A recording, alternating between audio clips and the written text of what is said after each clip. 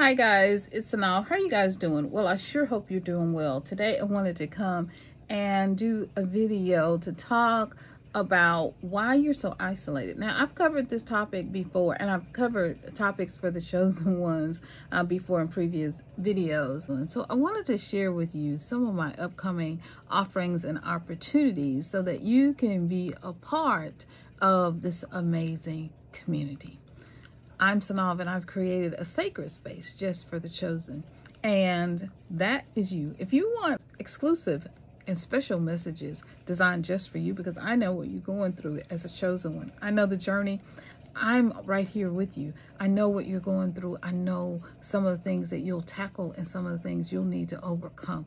I know the weapons that are formed against you, and I know the strategies to help you win. And so together, let's create this amazing community. I have links down below so that you can join here on Facebook. You can join me over on Patreon and be a part of the community. You can also send me an email. I'll leave the information below so that you can join and you can receive my email newsletter list. You'll want to do that. Thank you so much for being a part of the community. Thank you so much for your comments, your amazing sharing. I love it. Um, I appreciate you guys so much. All right, I'm gonna leave all the information, all the links below to join the community here on YouTube, to join us over on Patreon, to receive exclusive content and exclusive messaging and information that is designed and crafted just for you. All right, I love you guys so much. I support you chosen ones, my precious, beautiful, amazing gems, my beautiful chosen ones. I support you in everything you do, and I am here for you. And so I've got so much to share. This video is inspired by a video that I did um, previously about um, soft life, right? And it's a video that's also inspired by uh, Felicia over at Feminine Fancy and also a video on isolation by uh, Henderson. Chhavi Zaine has also covered um, this topic of um, isolation by the chosen ones, God isolating you and the and the reasons for that. And so I'm going to leave links to them below and um, share that with you.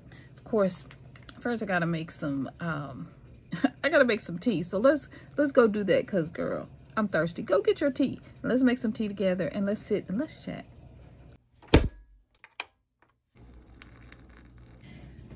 all right girls and guys my precious gems my precious precious beautiful chosen ones um yes the queen is here mm i'm back with my tea yes mm of course i got it warming over there on my coffee mug warmer so it's a little warm mm.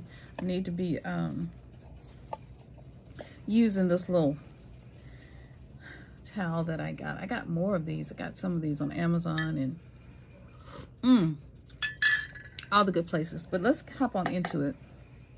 So I wanted to talk to you about why you are isolated. Now, we all go through isolation for different reasons. I shared my, a little bit of my personal story in the last video. I'll leave it linked below.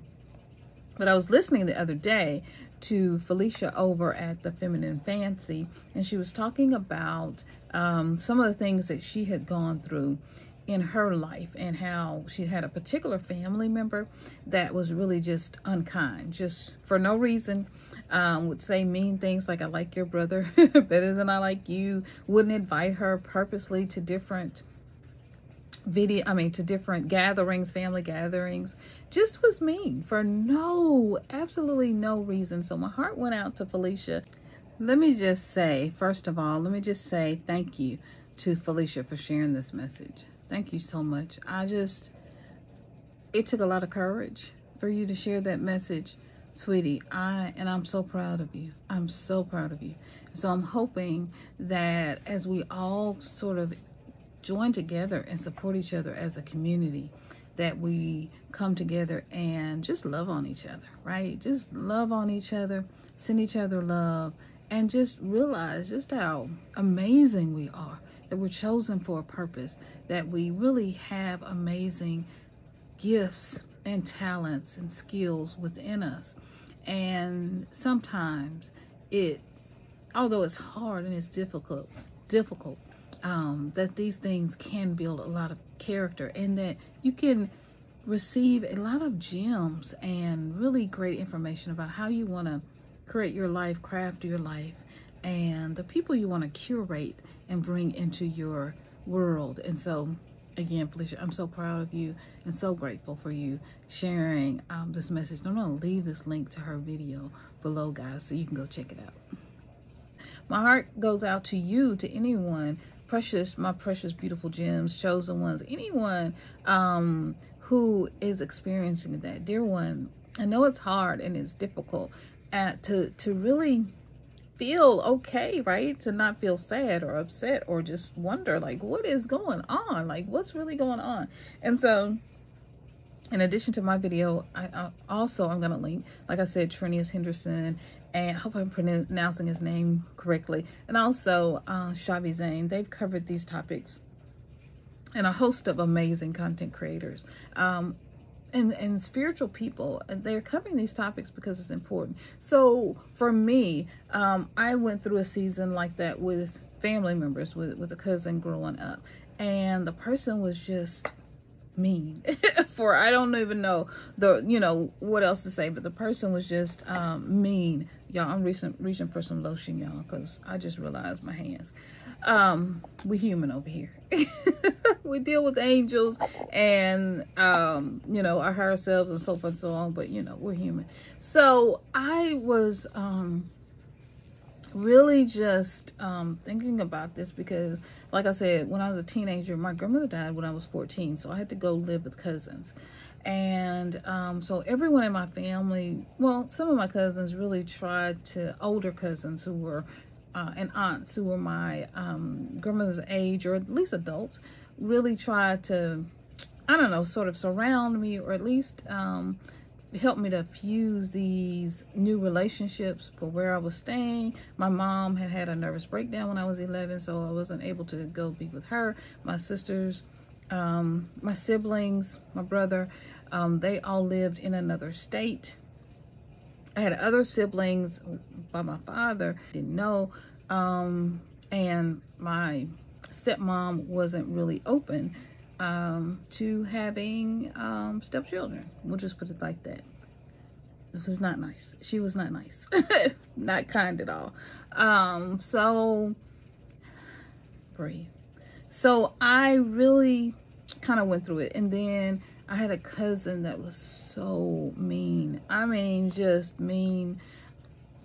Just mean. It, it, for no reason. She didn't want me to come around over to their house. She didn't want, she thought everybody kind of catered to me. Everybody uh, felt sorry for me. Everybody thought I was so pretty. Everybody thought, you know, I was so this or I thought I was cute and, you know, all the ugly things, right? She didn't want me to be around. She didn't want me to come to their church. She didn't want me to spend the night with them. I spent the night one night she kept me up all night. Just, she wanted to fight. She just wanted to, but not loud enough for her mom and her sisters to hear, but just loud enough to, you know, to let me know, don't ever come back over here again. And I didn't. Um, but I survived, right? I lived through um, the meanness, the being felt like I was ostracized, being very lonely, felt like people didn't want me around. Um, you know, my mom was having her issues. And so I was going through all of that. And I'm I'm telling this story because you may be going through something or have gone through something similar. And I've had to really take a moment because Mike don't want to act right, but I've had to take a moment to let myself heal, which is hence why I drink tea. Calming, very calming. I have some chamomile in here, y'all. Mmm. and some rose and hibiscus and other good stuff. But yeah, I have to learn, right, how to let go. I've got links to my Amazon store if you want to pick any of these things up, okay? My teapot, my kettle, all that. But anyway, so I had to learn how to breathe and how to center myself, how to love myself. Really loving myself was such a huge, huge thing for most of my teenage years. Um, because I had to learn. My mom took me to the side in one of her moments and said to me, I want you to look at the mirror and say, I love you. I love you. I love you. so there are a couple of reasons why um, Spirit really wants you to be isolated, right?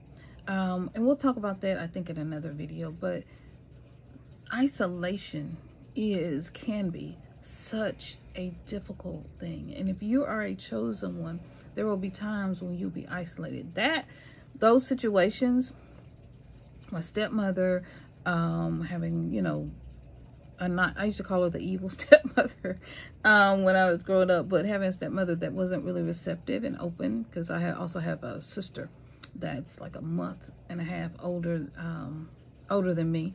And so she wasn't was less receptive to me than uh, much less receptive to me than she was to my other sister, but not very receptive to her at all. And so, and then having cousins, right? That cousin that I mentioned, that's just one. Um, and people, right? People looking at you, oh, she's the orphan, she's the, you know, you'd hear the little things, oh, you know, her grandmother died, so she doesn't really have a place to go. And, you know, her mom, you know, she's having all these problems. So, you know, you know, her, her grandmother used to teach school, right? So it's really sad how, you know, what's happening to her and whatever. So you hear the gossip, you hear, you hear it all, right? And you hear people talking about you and your situation. I was a kid not understanding and really not knowing how to manage it all. First of all, I'm managing, trying to manage my own emotions of what's happening to me. Why did my grandmother pass away? Uh, what happened with my mom? What's going on with her? Is she going to be healed? Is she going to be well? Will I see my siblings again? Um, will I always have to be in this situation of staying here where people have taken you in, but not necessarily, it wasn't necessarily their choice. They had to do it. They didn't have a choice to do it because where else were you going to go, right? Um, my um, grandmother's cousin took took me in. She was older. And so it wasn't a, a, a matter of necessarily being mean. She was just elderly. She had retired. And so she really would say all the time, I thought my raising children days was over. So she wasn't um, able to like play and talk and all those things because she really was in a different much older stage in her life and I and I know that from my grandmother because um, she and my grandmother were the same age so that was even difficult for my grandmother having to raise me. It's like you're in a different stage of life. You're not a parent able to run here and there. You don't want to run here and there and go to the movies and have sleepovers and hangouts and go to football games and all that. So a lot of things I wasn't able to do especially when my grandmother was alive. But then uh, with my cousin, um, she did allow me to go, and I call her my dear. She did allow me to go to do a lot of places and do a lot of things um, that I haven't pre hadn't previously done, and that was also a war within myself, getting to go to football games, the movies, and all this stuff. Is like it was very different lifestyle than what my grandmother had led, which was a very strict Christian upbringing. No this type of music, no that type of music, no these kind of clothes, no short skirts, no this, no short pants, no, you know, short, short pants, no this, no wear skirts all the time, right? So it's like night and day. And I'm like, what's going on? And how do I navigate this? And why am I isolated? Why am I alone through all of this? Why, why, I, you know, all of my cousins, other cousins, a lot of my closer cousins, um, who, um, were my Madia's, uh, my Madia's, um, you know, children were older. They were all adults. So there was nobody for me to talk to at 14. They were adults raising their own families, doing their own things. They didn't have time. And some of the other, you know, uh, extended family members lived in other places, Detroit, Chicago, other places. So I may not, I wouldn't see them maybe once a year. And um, they didn't always bring their children with them who would be my age or grandchildren, really, who would be my age. So I was isolated a lot. And I was, the things I was doing was journaling and talking to spirit and talking to God and talking to the Most High, getting to know my higher self, getting to know myself and just pouring into myself a lot of love. But at the same time, I was facing a lot of self-hate, even for my, from my own self, why am I in this situation crying in tears and upset all the time? I just, if you made it to this far in the message, bless you. I just wanted to come on to just say that I get it. I, I get now why I had to be isolated and why that happened, right? Those, not anything negative like, you know, um, deaths or anything like that. I don't know if I'll ever understand. no. Um, but it did was a season of growth for me. Um, and I did need to grow and I did learn some different things. I learned how to take up my take care of myself. I learned how to stand up for myself. And when I heard Felicia from the Feminine, Feminine Fancy talk about this, right? I learned how to have a soft life. I learned how to be soft and gentle and good to myself. Because if other people weren't going to be good to me, then I darn sure was going to learn how to be good to myself. I learned, this was a season I learned self-care. I learned self-love.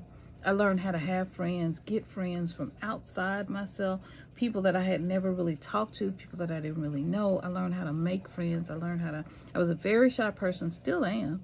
Um, still have a lot of anxiety, but I had to learn how to talk to people, get to know different people, get to have different friends. If one group didn't accept me, go on to the next one. Or I, I spent a lot of time by myself um, reading and journaling and in prayer and meditation and just walking. Like I would just walk places by myself, go places and do things by myself. I did make some friends during those times. Um, but my girl, my Maria would tell me, she says, these are not long lasting friends. These are just now friends. I didn't understand that until I was an adult and I decided to be a stay at home mom and our choices and lives went in different directions. People seemed not to really respect my choice to be a stay at home mom. They wanted, I don't know, something else, something different that I just didn't want. I chose to be more like Maria, I think, more like the person who raised me, began raising me at 14. Uh, my grandmother taught school and she was a career woman, all of that. I love her and respected her very much. My life choice was, um, with because I have a, an amazing husband, was to be at home, to stay at home, to have a softer life, um, and to be softer and gentler to myself, and to try to learn and figure out how to really be a really good mom, a great mom, and a great wife. Now, did I make mistakes? A whole hell of a lot of them. excuse, excuse my French. Uh, pardon. But um, I made a lot of mistakes and I'm still learning how to be a good wife and a good parent. I, I'm still learning how to be the best mommy I can be because adult children are are very different than raising your babies because you want your I want my babies to stay babies forever.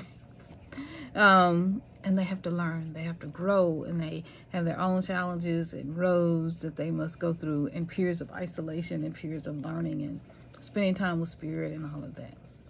I just wanted to share this with you because sometimes you feel very alone. You feel like nobody understands, no, no stands, no one knows what I'm going through, no one understands. But I, I just want you to know that the Spirit has you. You're wrapped in love precious, anointed, chosen gem. Dear heart, dear one, you are chosen. You have a purpose on your life. And no matter what happens, no matter what's going on around you, remember who you are. Remember that you are chosen. And know that you are never alone. Every breath that you breathe, every breath that you take, every time your heart beats, is just a reminder that you are not alone, no matter how much the isolation may seem to be or how hard this time of the season may seem to be. Know that there's a purpose in this. Okay, there is a purpose in this, and there's a purpose for this, right? And you're going to come out of the other side stronger and wiser. Yes and you're going to come out with a purpose and a clearer vision than you've ever had before. All right, guys. Again, this is Synolve. I love you so much.